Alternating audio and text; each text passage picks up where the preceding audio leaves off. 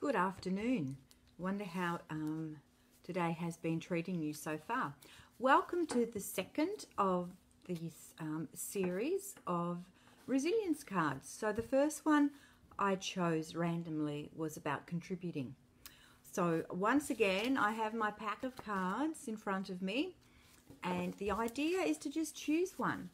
So resilience cards contain lots of different ideas and what they have in common is that they can all contribute to um, feelings of positivity and self-growth and resilience and grit, whatever you like to call it. It's all about developing that um, strength of mind, strength of character, ability to keep going when things are looking pretty bleak and we're feeling um, not wonderful with what's happening in our world at the moment. Or things are actually traveling okay, but we still want to keep working on things and feeling better about ourselves and developing our strengths.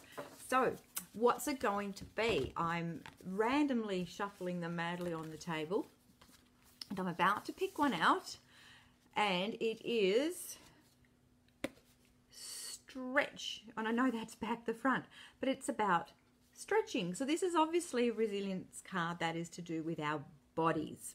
So what does it say? Stretch your body, try yoga or Pilates. Now, I have done both of these, not on a regular basis, I do admit, but they're both wonderful, mindful activities to do for our body.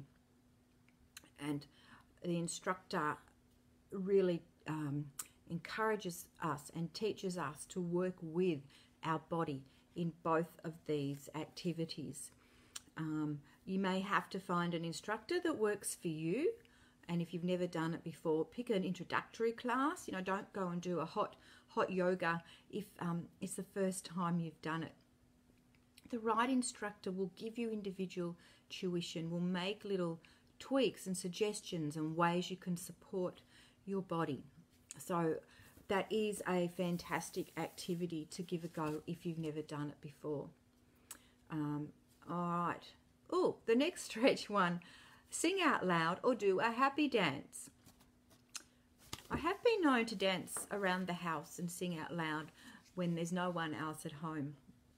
So if this is something um, you can take advantage of, give it a go. It's great for boosting your energy levels, raising your feel-good hormones, and um, generally making yourself feel pretty pretty better, pretty good, better.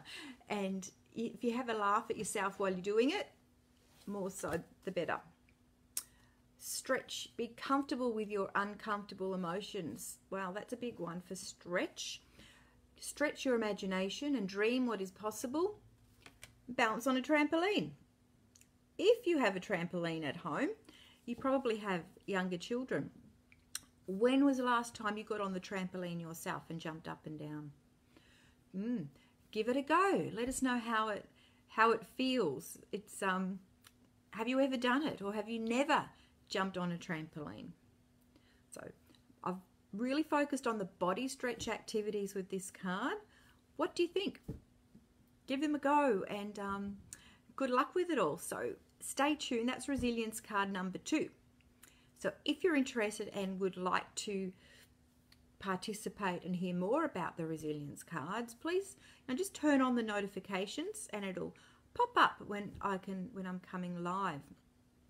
If you're watching this after I've finished, by all means, um, write in the comments what you've actually done. How did you stretch yourself? Did you try yoga, Pilates, jumping on the trampoline, or having a song and dance around the house?